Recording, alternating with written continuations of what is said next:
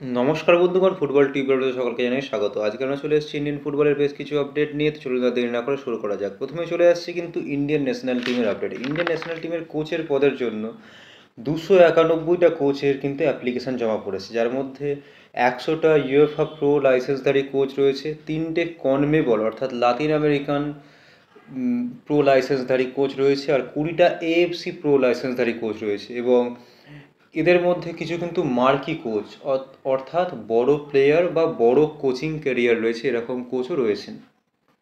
এবং কিছু কোচের নাম বেরিয়ে এসছে, যেমন আগেও বহু বেরিয়েছিল, এখন নতুনভাবে যেগুলো বেরিয়ে এসছে র্যাঙ্কো পোপোভিচ যিনি এর আগে কিন্তু এফসি পুনে সিটির কোচ ছিলেন। আদ্রিয়ান মুতু যিনি এফসি পুনে সিটিতে মার্কি প্লেয়ার হিসেবে খেলেছেন। জেরার্ড নাস যিনি কিন্তু নর্থ ইস্ট ইউনাইটেড এফসিতে কোচিং করিয়ে গেছেন, অনেক অল্প বয়সী কোচ এরাও কিন্তু অ্যাপ্লাই করেছে। এরপর চলে আসছি ইন্ডিয়ান ন্যাশনাল টিম কিন্তু ট্রাই নেশন সিরিজ খেলতে চলেছে।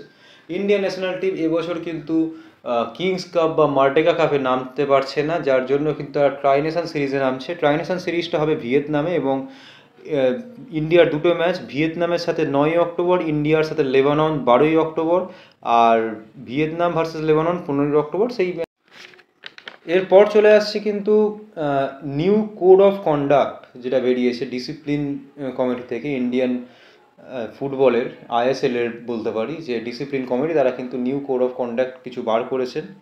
সেটা হচ্ছে এক নম্বর, যে একটা মাত্র টেকনিক্যাল স্টাফ ফোর্থ অফিসিয়ালের কাছ থেকে এক্সপ্লেনেশান চাইতে পারবে। তার থেকে বেশি যদি কেউ গিয়ে ফোর্থ অফিসিয়ালের সাথে গিয়ে কথাবার্তা বলে বা এক্সপ্লেনেশান চায়, তাহলে কিন্তু সে কার্ডও খেতে পারে।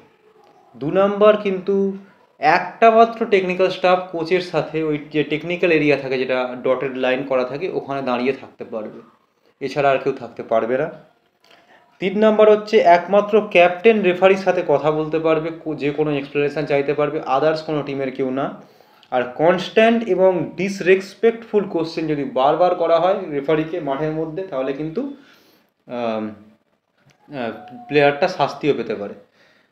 তো এবার আপনাদের কি মনে হয় যে ইন্ডিয়া টিমে যেখানে ভিএআর খুব মানে বেশিভাবে দরকার ইন্ডিয়া টিমে না মানে আইএসএলে যেখানে কিন্তু ভিএআর দরকার, কারণ এখানকার রেফারিংয়ের মানটা যথেষ্ট কম এবং রেফারিংয়ের মানটা কম এবং সেই দিয়ে প্লেয়াররা মাঠে প্রতিবাদ করায় বা কোচ প্রতিবাদ করায়, তাতে আগে পাবন্দি আনা হচ্ছে, তাতে আগে কিন্তু একটা রেস্ট্রিকশন আনা হচ্ছে, কিন্তু ইন্ডিয়ান যে রেফারিং সিস্টেম তাতে কিন্তু কোনো পরিবর্তন আনা হচ্ছে না। তো এটা নিয়ে আপনাদের কি মতামত?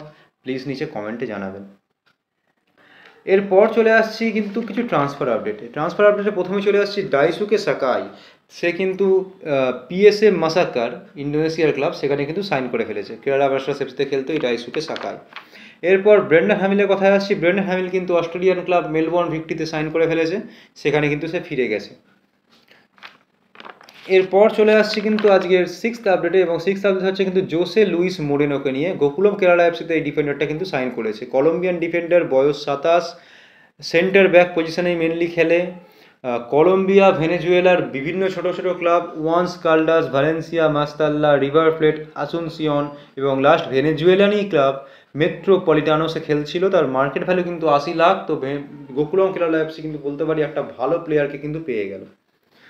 এরপর চলে আসছে কিন্তু নেক্সট আপডেটে নেক্সট আপডেট কিন্তু হচ্ছে মোহাম্মদ কাদিরকে নিয়ে মহারান এফসির player defensive midfielder mainly two point eight crore তার মার্কেট ভ্যালু এবং বয়স আঠাশ। এই প্লেয়ারটাকে এই ঘানাইয়ান প্লেয়ারটাকে কিন্তু সাইন করিয়ে মহামেরান কিন্তু খুব ভালো কাজই করেছে। এই প্লেয়ারটা কিন্তু আসান্তি গোল্ড, অস্ট্রিয়া, ওয়েন, ডাইনামো কিয়েভের মতো ক্লাবেও খেলেছে এবং লাস্ট আজারবাইজানের টপ ক্লাব আরাস নাকসিবানে খেলছিল এবং সেখান থেকে কিন্তু মোহামেডান এসিতে সাইন করা। এরপর চলে আসছে কিন্তু মোহনবাগানের আপডেটে মোহনবাগান কিন্তু আর একটা ন্যাশনাল টিমের প্লেয়ারকে অর্থাৎ ইন্ডিয়ান ন্যাশনাল টিমের প্লেয়ার কিন্তু সাইন করাতে চলেছে। এরকমই কিন্তু আপডেট কালকে মার্কাস মার্গুলাও দিয়ে দিয়েছে। তো এবার এটি দেখার সেই প্লেয়ারটা কে হয়। আর লাস্ট মোহনবাগানের আর একটা আপডেট চলে আসবে, সেটা হচ্ছে আলবার্তো রদ্রিগেজ। যাকে কিন্তু কনফার্ম করে নিয়েছে মোহনবাগান। আলবার্তো রদ্রিগেজ কিন্তু তার, যার market value two point two crore বয়স একত্রিশ সেন্টার ব্যাক পজিশনে খেলে এবং ছ ফুট দুই ইঞ্চি হাইট এবং লাস্ট খেলছিল ইন্দোনেশিয়ার টপ ক্লাব পেরি পার্সিপ বাংডুংয়ে সেখান থেকে কিন্তু সাইন করল মোহনবাগানে। তো এটা একটা খুব ভালো সাইন বলতে পারি। খুব মানে প্রোডাক্টিভ সাইন হবে। ধারে ভারে হয়তো খুব বড় প্লেয়ার না, কিন্তু ইন্ডিয়ান লেভেলে এবং এশিয়ান চ্যাম্পিয়ন্স লিগ টু লেভেলে এই প্লেয়ারটা যথেষ্ট ভালো পারফর্ম করবে বলে আমার ধারণা। আর লাস্ট মুম্বাই সিটি এফসির আপডেটে চলে আসব নিকোলাস কারেলিস গ্রিক ন্যাশনাল টিমের প্লেয়ার তার সাথে কিন্তু অ্যাডভান্স নেগোসিয়েশনে মুম্বাই সিটি এফসি চলে গেছে। মুম্বাই সিটি এফসি কে নিয়ে? মুম্বাই সিটি এফসি সমর্থকদের একটা অভিযোগ এবারে উঠে এসেছিল। যে মুম্বাই সিটি এফসি বা সিটি ফুটবল গ্রুপ কি করে? তারা কিন্তু নতুন কোনো প্লেয়ারকে আনে না আইএসএল খেলারও বিদেশিদেরই টিমে নেয়। কিন্তু সেখানে মুম্বাই এবছর দুটো বড় বড় রিক্রুট করেছে। আর্সেনালের প্রাক্তন জন ডোরালকে তারা সাইন করিয়েছে। আর এখানে গ্রিক ন্যাশনাল টিমের হয়ে কিন্তু উনিশটা ম্যাচ খেলেছে গ্রিসের হয়ে। সেখানে তিনটে গোল করেছে এই প্লেয়ারটা নিকোলাস কারেলিস, তাকে কিন্তু সাইন করিয়েছে। চার কোটি টাকা তার মার্কেট ভ্যালু বয়স তার বত্রিশ সেন্টার ফরওয়ার্ড